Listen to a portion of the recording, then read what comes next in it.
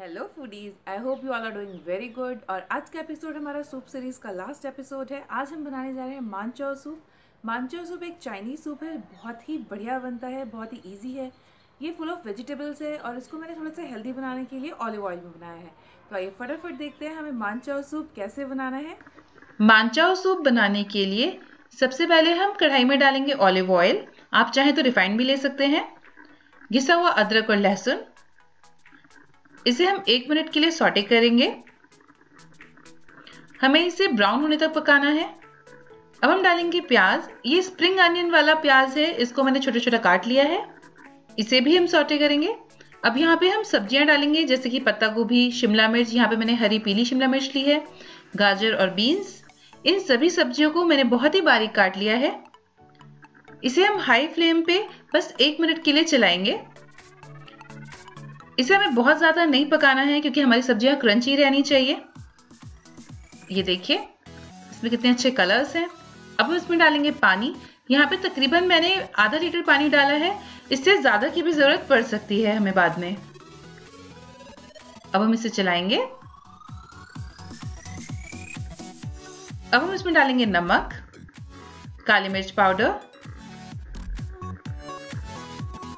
और थोड़ा सा कॉर्न स्टार्च लिया है मैंने, इसमें मिला है सोया सॉस टमाटो केचप और अब इसमें थोड़ा सा पानी डाल के इसका एक घोल बना लेंगे। बिल्कुल स्मूथ बनना चाहिए, कोई भी लम्ब नहीं होने चाहिए। ये देखिए, बिल्कुल स्मूथ घोल बना लिया है। अब इसको अपने सूप में डाल देंगे। ये हमारे सूप को बॉडी देगा थिकनेस देगा।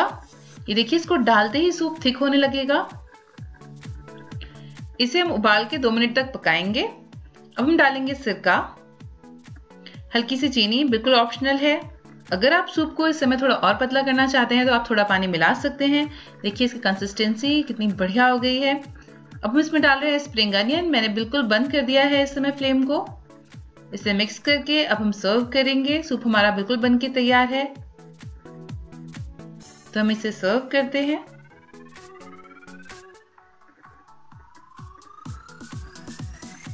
इसमें हम थोड़े से स्प्रिंग अनियन डालेंगे ऊपर से। और इसके साथ में मैं दे रही हूँ फ्राइड नूडल्स इसके साथ में फ्राइड नूडल्स क्रिस्पी बहुत ही अच्छे लगते हैं। और ये देखिए, हमारा सूप बन के तैयार है। आप इस सूप को बनाइए, पीजिए और अपने एक्सपीरियंस हमारे साथ में ज़रूर शेयर कीजिए। And thanks lot for watching bye bye so so guys इसी के साथ में हमारी सूप सीरीज़ ख़त्म होती है, लेकिन आपको और भी आगे अलग अलग तरह के सूप्स मिलते रहेंगे। तो आप स्टेडियम रहिए, हमारे चैनल को सब्सक्राइब कीजिए, और अगर आपको रेसिपी अच्छी लगे तो प्लीज़ लाइक का बटन ज़रूर दबाइए। Bye for now will back with some new recipes tada